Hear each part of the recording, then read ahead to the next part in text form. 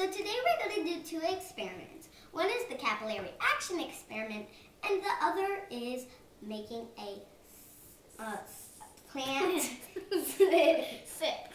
Um, so for the capillary action, we are going to need two paper cups or any two cups and a piece of paper towel rolled up. Good. And folded it half in the little middle. And for the Oh my gosh, where's the gel? for the um ah, for this um plant sip, we're going to need a bottle cut in half, Three soil pellets. a half cup, um, pencils, and um, Markers. and Three three seeds In this case, And we're just using pea seeds. seeds. just seeds. Um, and then also, so let's start with the capillary action experiment because that's going to take a little longer.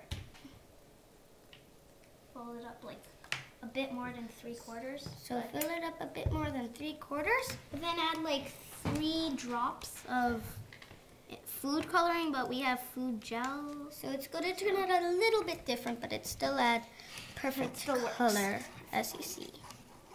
We're using red because it's a very dark, bright color.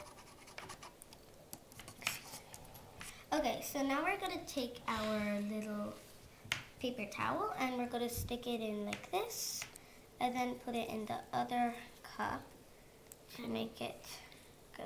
And then move it aside. And move it aside So so we can do our others.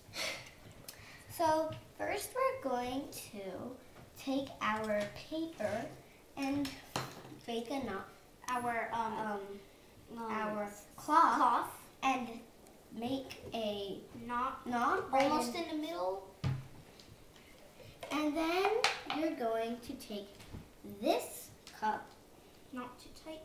Um, with the hole in it, and you're going to put it right in here in the hole. Push down and push up at the same time so that it so that the water doesn't leak out from the bottom part. I mean from the top part.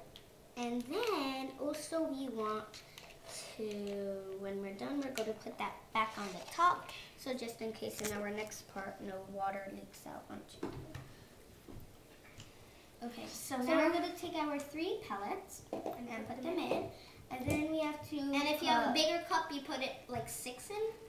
um, hmm, six half, six pellets, and then you're going to About fill up a half cup of water. Two and times. two times, and you're going to pour it on the pellets, and that's going to make And then they're growing, as you see. They're growing. And you're going to just pour it in, and then you want to pat it out a little bit. Like, like make it all straight. Straight. Like don't like push it because it's going to take harder for one of her seeds to grow. than the other. Okay, now you're going to make three holes with your hands. up, up, Up to um your um the first line.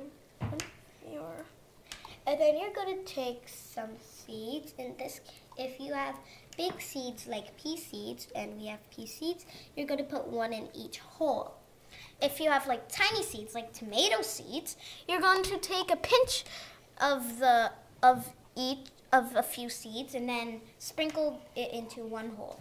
Okay now you're going to cover them don't press it down because you want it to be easy for them to sprout out of the soil so you- they don't have any difficulty um, and it would be easier and they could come out faster. Now we're going to add water to the bottom part. Just like in our capillary action experiment, the water is going to go upwards and feed our plants. Bit above that line that's shown. Okay.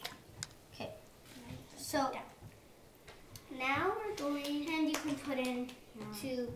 so now we are going to take our stick and on one side you're going to write the Your name the the plant you're planting, your name, the date, your class, Then your on the other partner's side- name, and their class on the other side.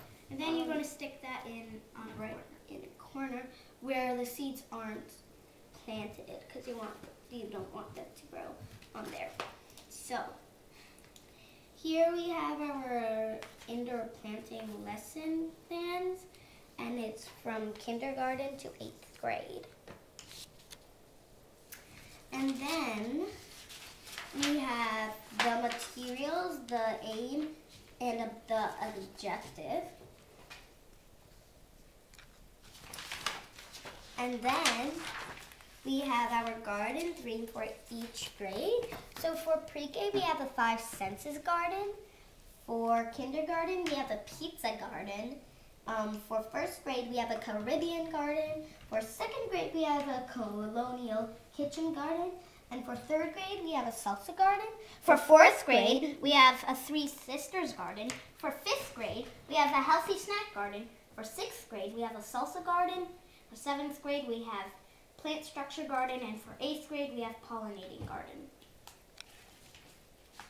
And also over here, we have our Green Zone caring tips. So you always have to give your plants water. Always give them water only from the bottom part, never from the top. If the top looks dry, just give it a little water from the bottom because the the cloth would take it all the way up to the soil and give it the water that it needs. Two, give your plants light. If you're if you don't have enough light, please contact our school's green zone and they will give you a a um light green light a grow light I mean. And that one is light that's almost like the sunlight and it will help your plants grow. Also give your plants lots of love. So you can designate two students to care for your plants and make and make sure that um, one time before Friday, before Friday to make sure if there's enough water in the bottom part, and on Monday when you come back from the weekend, they come back from the weekend if there's enough water there. Okay. Also, we have a mini um, version of this on our last page, which is this same thing, but a mini version. If you have any questions, okay. Now let's look back at our capillary action experiment. So As the you water, see, the water traveled first, and you can feel it a little bit in here.